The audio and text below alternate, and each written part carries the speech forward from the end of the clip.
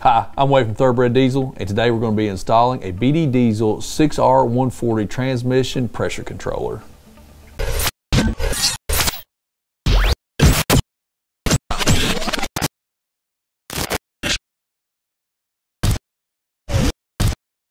The BD diesel 6R140 transmission pressure controller is really really neat unit. This is affordable super super quick install. Let me talk to you a little bit about why you need it. For you guys that are stock trucks or you've got tuning on the trucks um, this is going to help you uh, to save on your transmission. The stock Ford programming in the 6R140 for, uh, with the Power Strokes is going to run anywhere between uh, 70 psi and 170 psi, just depending on what the workload is in the truck. The reason why they do that is really just to save work on the transmission, get you better fuel economy when you don't have the full pressure uh, running through your transmission at the time. It's just going to reduce the work on the transmission. So no parasitic loss in there because of it. So better fuel economy.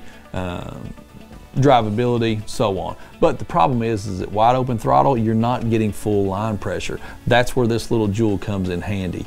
What this is gonna do is once it is installed in your truck, when your truck commands 15 PSI boost, it is going to turn on to 300 PSI full line pressure. That's gonna reduce your clutch slippage. That's gonna help you maintain your transmission so you're not having premature transmission failure.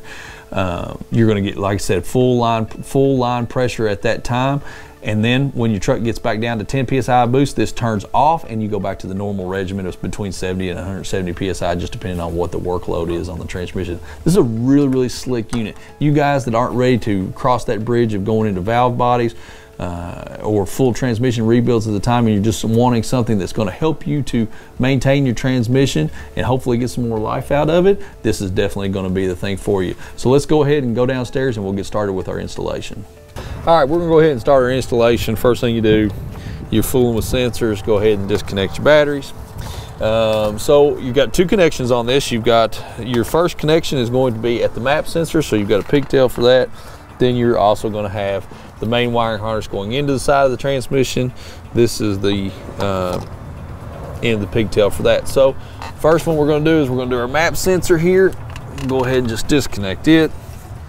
And then the normal normal fun kids male to male female to female. All right. Then you're going to want to try to run your wiring harness. I'm to the harness for your transmission is on driver's side so you're going to want to try to get everything oriented towards the driver's side. Pull that harness out of there. I had one loop. I had to get out. Perfect. All right so now our transmission side, we're just gonna go ahead and fish that down. You can just kind of lay on the frame rail there. You just wanna be able to get it.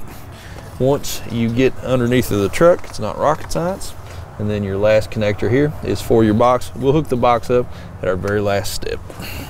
All right, we're underneath the truck now, driver's side, transmission main wiring harness going into the side of it is right here. So we're going to go ahead and turn our locking collar towards the front of the vehicle. There's a tab on the top of it. Sorry about the mud in your eye there, Adam.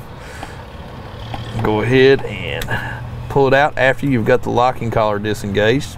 You can kind of look at the orientation of it at that point and see how the BD wiring harness is supposed to go.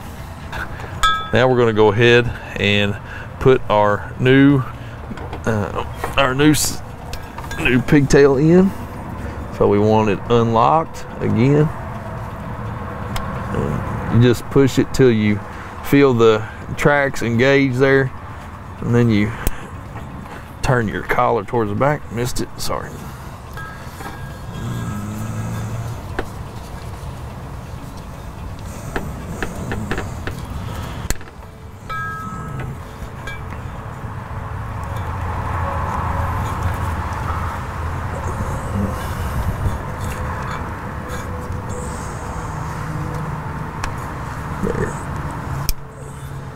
Make sure it's, uh, it's only gonna go one way.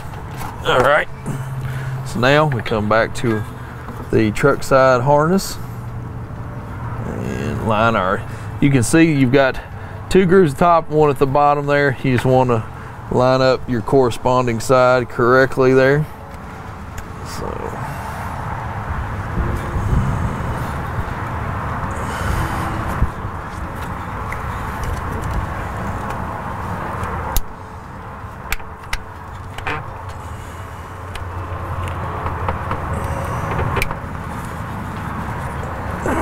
There it is, fully engaged. Now, prop shaft here, you can see first move that we made, it's all, it was already touching the drive shaft there. You're gonna wanna make sure when you get all your zip ties up that that is gonna be completely out of the way of the prop shaft.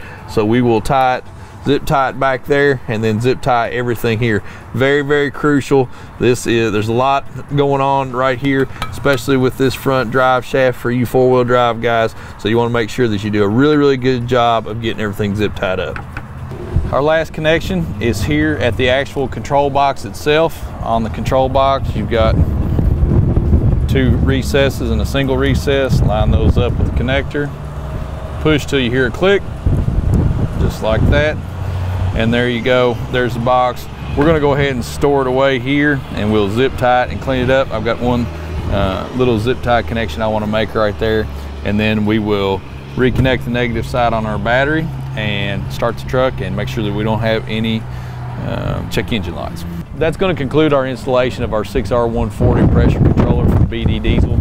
Took the truck out for a drive, line pressure is up at wide open throttle, works exactly like it's supposed to. So if you have a question about this or any other BD products, please give us a call. BD's really, really done a good job with their uh, pushing the envelope for 6R140 transmission technology. We've got our uh, our pressure enhancer solenoid video that we've done now this control box. Check both of those out. If you have any questions please give us a call like and subscribe to our channel. Thank you